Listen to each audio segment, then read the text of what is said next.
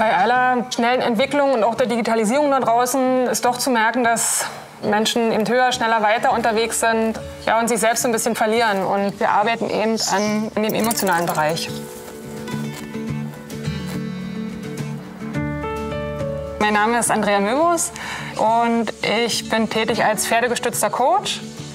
Ich begleite Kinder, Jugendliche, Erwachsene und Teams und setze dabei die, ja, die Pferde ein.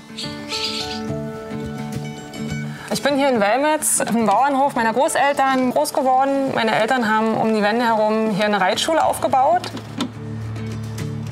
Ich habe viele Jahre mit Pferden gearbeitet, im Reitsport und habe über die Berufspädagogik, aber auch den Weg der persönlichen Weiterentwicklung entdeckt und habe festgestellt, mir machen die Pferde total Freude, ohne geht's nicht. Und auch zu schauen, wo kann man Menschen unterstützen und ihre Potenziale noch ein bisschen rauskitzeln, ja, sie begleiten.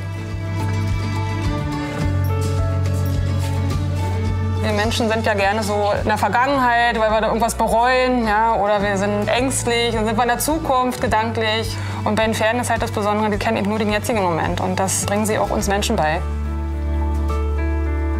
Selbstvertrauen ist ein ganz wichtiges, großes Thema, vor allem bei Kindern und Jugendlichen, die in ihrem Alltag mal eine Begegnung hatten, wo einer gesagt hat, das und das kannst du nicht.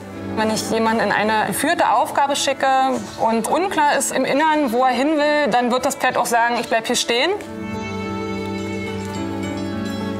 Das Besondere eben bei den Pferden ist, dass sie mit ihren 600 Kilo sich nicht mit Kraft und Gewalt bewegen lassen, sondern mit ganz tiefer innerer Einstellung. Und das kriegen junge Menschen ganz, ganz super hin und sind sehr, sehr bestärkt, wenn sie das geschafft haben.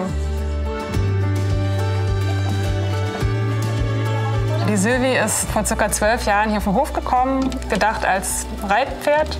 Hat sich dann aber herausgestellt, dass das nicht so ihr Job werden wird. Ja, sie hat die Reiter dann abgeworfen und hat sich im Training auch nicht verbessert. Und aufgefallen ist mir schon immer, dass sie mit Kindern und Jugendlichen vor allem sehr, sehr umgänglich ist, aber auch mit Menschen, die ängstlich sind oder zurückhaltend. Und da ich noch auf der Suche war, war es tatsächlich Silvi, die mich da so ein bisschen hingeschubst hat. Und wir sind darüber zusammengewachsen und jetzt echt ein starkes Team. Ja.